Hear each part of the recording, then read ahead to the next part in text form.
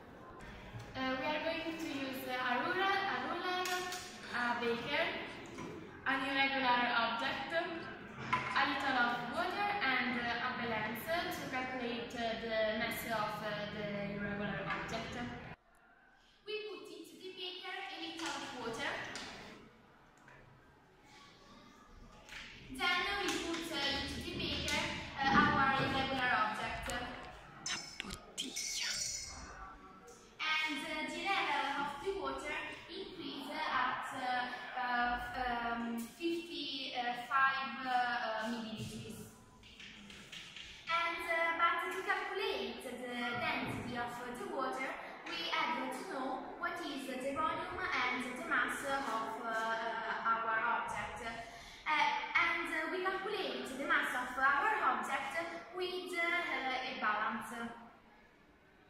So now we calculate the mass of uh, our irregular object. That is uh, 12, 12.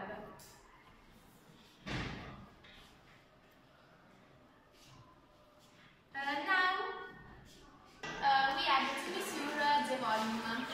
Uh, we measure the uh, radius of uh, our beaker, that is uh, 3 centimeters.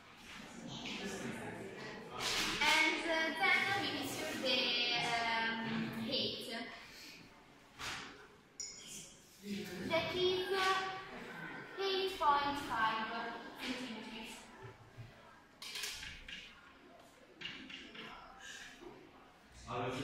Okay, now we measure our volume with the formula and then we measure the density.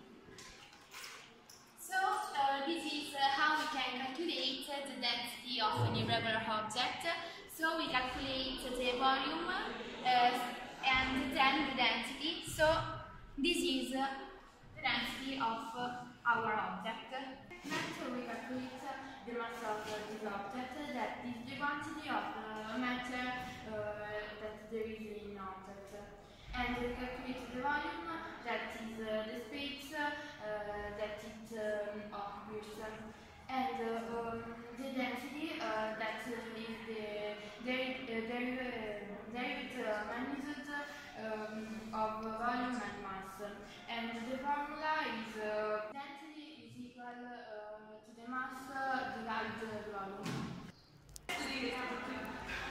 This experiment. Will how we can calculate the density of a regular and learned that it's not necessary to know the precise measure but we can calculate the density